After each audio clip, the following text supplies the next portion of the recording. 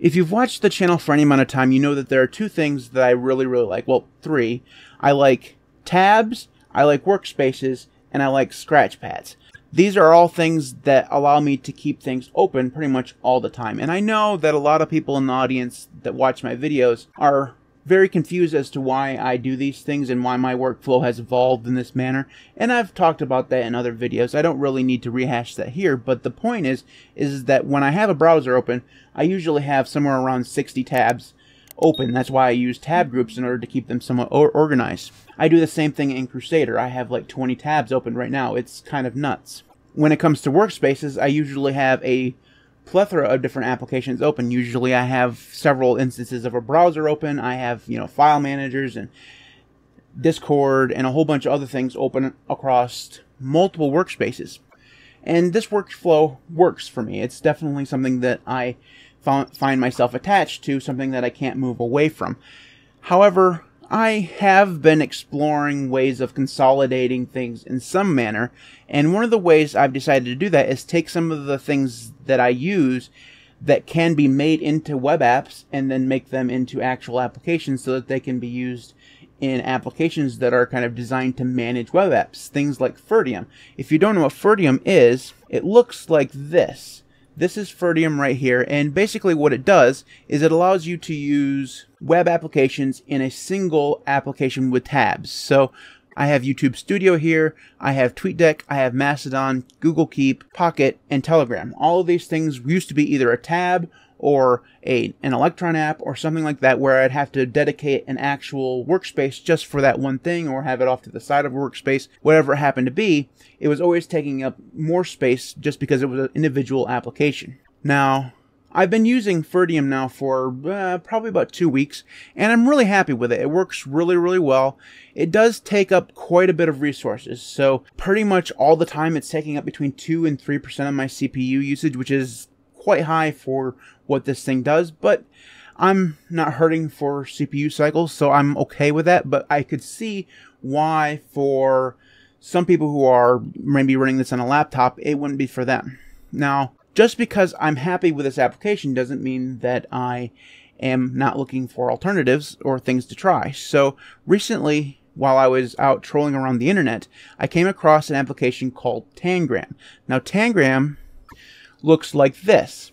Now I'm going to turn my face off here so I don't cover up anything here. But basically, it does the same thing that Ferdium does, only instead of having dedicated services that you can add and then each of those services has kind of been developed in a way that there it's kind of suited for that service. With Tangram, everything is a custom application. So when you hit the plus button or you're in it for the first time, you're giving a page like this and you enter the web address. So in this case, I'm going to do TweetDeck, if I can spell, dot Twitter, dot com, and it's going to take me to that actual website. Basically what this is, is an actual browser. All it's doing is browsing to the website. And then you would sign in, so I'll sign into this here.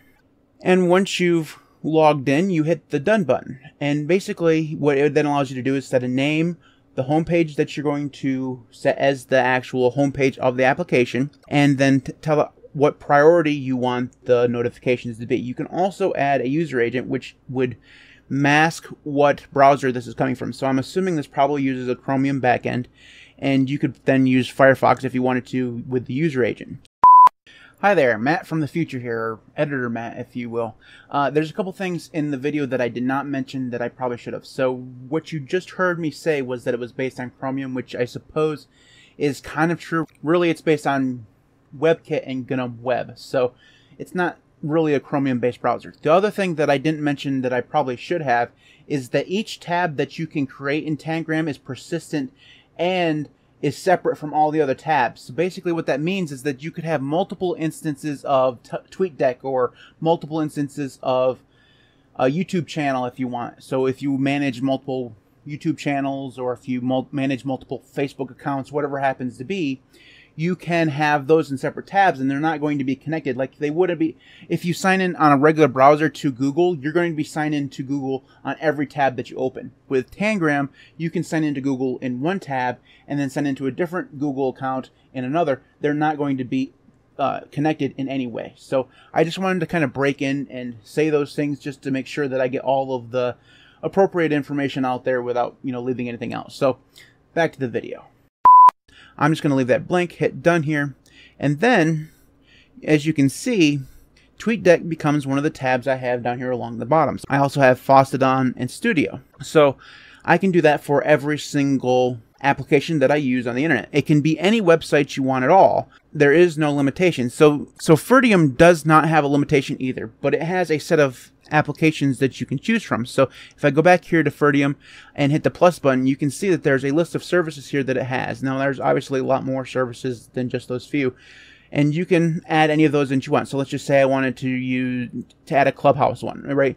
It gives you options for notifications and audio and stuff like that. Also, a built in dark mode, which is nice. It also allows you, if they don't support your service, to add a custom one. So you could click on the plus button and then as you search through these, discover that they don't offer that service, you can then add a custom one, and it gives you the same basic options as a service that is supported it works basically the same way. The only difference is, is, that instead of having a nice clean interface like this up here at the top where there's no bar, if you have a custom application, you do have a URL bar up there at the top, which is a little bit annoying. It won't go away.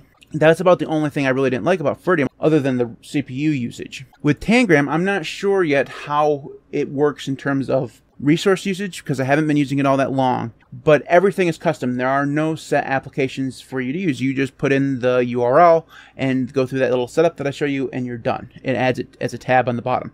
There are no extra settings for this application whatsoever, other than the ability to change where the tabs are. So you can change the tab position from top, left, right, or bottom. I prefer the bottom, but top also works just fine. The I think by default they appear here, which is I, I don't really consider that awesome. I would, I guess, if it would minimize down so it's just the icons, that would actually be really cool. So it's along the side there. But as it is, I don't find the left or the right all that useful or appealing. So I preferred the bottom. But other than that, there are no settings here for you to set. In fact, there's no dark mode. Now, I'm assuming that if you were to use this in a desktop environment, it would follow your GTK theme. For me, it does not. Now, some of that is probably because it's a Flatpak.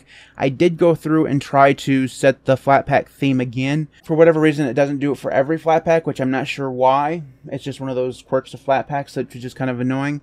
But I couldn't get it to show up with a dark theme. So that's not that big of a deal, but it is something that you should keep in mind if you decide to use this. Now, the only thing that I've noticed that I really don't like about this, other than the lack of the ability to theme it, is that it is pretty slow. When you close this application and then you open it back up,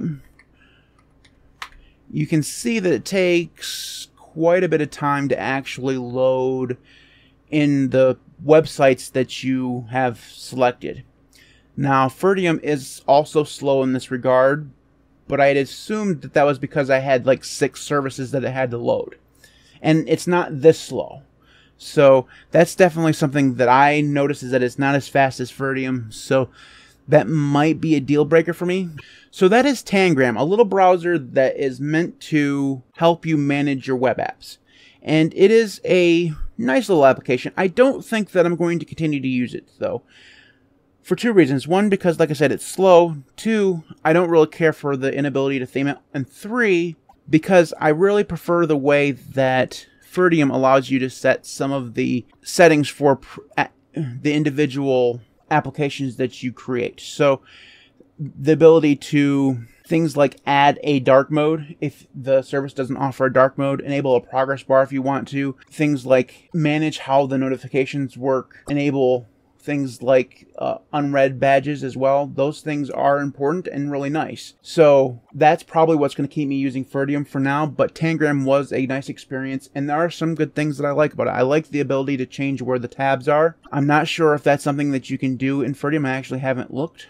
You can actually change where the tabs are in Ferdium as well. Although it looks like you only have the option between the side and the top, which is uh, not great. I'd prefer these on the bottom, but whatever.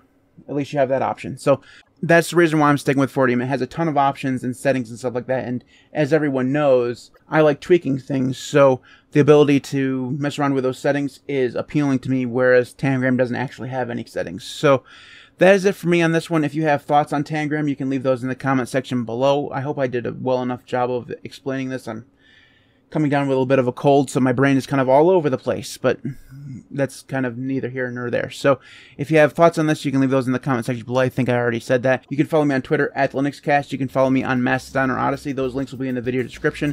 You can support me on Patreon at patreon.com slash LinuxCast, just like all these fine people. Thanks to everybody who does support me on Patreon and YouTube. You guys are all amazing people. I truly do appreciate it. I can't even begin to say how much. Without you, the channel just would not be what it is today. So thank you for your support. Thanks everybody for watching. I'll see you next time.